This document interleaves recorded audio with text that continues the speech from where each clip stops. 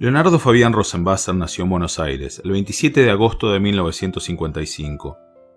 Comenzó su carrera televisiva en 1991 como notero del programa de periodismo humorístico Noti Creo, una imitación tardía de la noticia rebelde.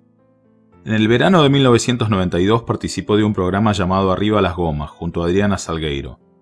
Ese mismo año tendría su única aparición cinematográfica, en Sex Humor la película, que pese a contar con un notable elenco que incluía a Javier Portales, Mirta Busnelli y Hugo Soto, fue un fiasco artístico y comercial.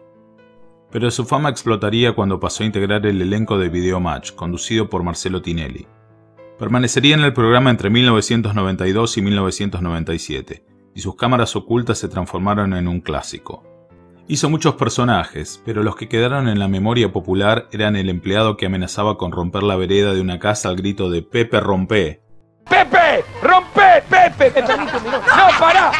No, no, no, no, no, Polisman no, Polisman no. Y el transeúnte que amagaba con saludar o abrazar a un desconocido para luego esquivarlo con un oso.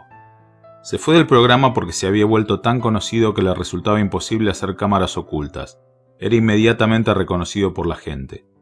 En 1998 probó suerte como actor dramático, en la telenovela Alas, Poder y Pasión, junto a Gustavo Bermúdez y Paola Krum. En 1999 hizo teatro en Carlos Paz y en 2000 cruzó el Río de la Plata para hacer un programa en la televisión uruguaya llamado Noche y Pico. También trabajó en Paraguay y en Ecuador. En 2007 volvió a la televisión argentina como panelista en Bendita y al año siguiente en Peligro sin codificar, pero se fue al poco tiempo. En 2013 condujo un ciclo de entrevistas llamado Contámelo Todo. Allí fue partícipe de un momento inolvidable de la televisión argentina. Entrevistaba al abogado Miguel Ángel Pierri, defensor de Jorge Mangeri, acusado del asesinato del adolescente Ángeles Rawson, uno de los casos policiales más famosos de la historia argentina. El abogado afirmaba la inocencia de su defendido cuando su propio hijo de siete años, que había concurrido con él al programa, lo contradijo al aire, diciendo en cámara que Mangeri había sido el asesino. El niño intentó continuar, diciendo yo sé cómo la mató, cuando tanto su padre como Rosenbasser lo cortaron y cambiaron de tema. Luego trabajó también en Radio Rivadavia y en Radio Belgrano, donde condujo un programa llamado Rompe, Leo Rompe. Su último trabajo televisivo fue en 2015, en un ciclo llamado Nosotros a la Mañana. Había estado casado por 20 años con Raquel Bermúdez y tenía tres hijos. Se separó y formó pareja con Valeria Dolagaray, una mujer 22 años menor, con la que le gustaba postear fotos en las redes sociales, algunas en situaciones muy íntimas.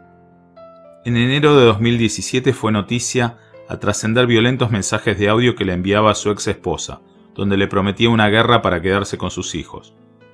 Cuando los audios se hicieron públicos, se defendió diciendo que había sido un arranque de furia, debido al hastío que sentía, y acusó a su ex mujer de ser alcohólica y de poner en riesgo la vida de sus hijos.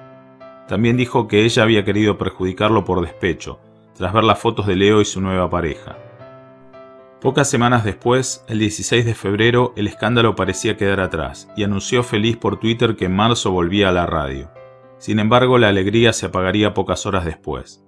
Esa misma noche, 30 minutos después de la medianoche, ya entrado el 17 de febrero de 2017, estaba cenando con su pareja Valeria en un aparto hotel del barrio de Belgrano, en Buenos Aires, donde ambos vivían.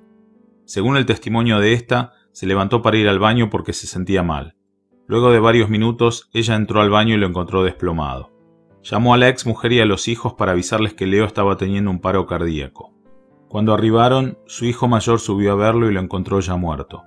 Su ex esposa aseguró que había muerto tras una noche de descontrol y que al llegar al lugar había jeringas, Viagra y toda clase de aparatos sexuales. En la autopsia se encontró que el cuerpo presentaba fracturas en la cuarta y sexta costillas izquierdas y en la quinta costilla derecha, y una lesión por un fuerte golpe en la región parietal derecha, además de hígado congestivo y pupilas dilatadas.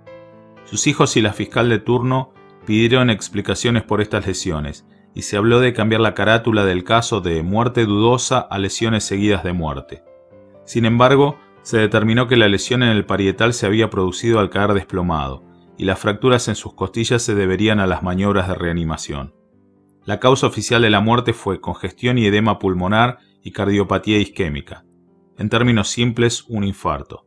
Sus restos descansan en el panteón de la Asociación Argentina de Actores del Cementerio de la Chacarita. Leo Rosenbasser tenía solamente 61 años.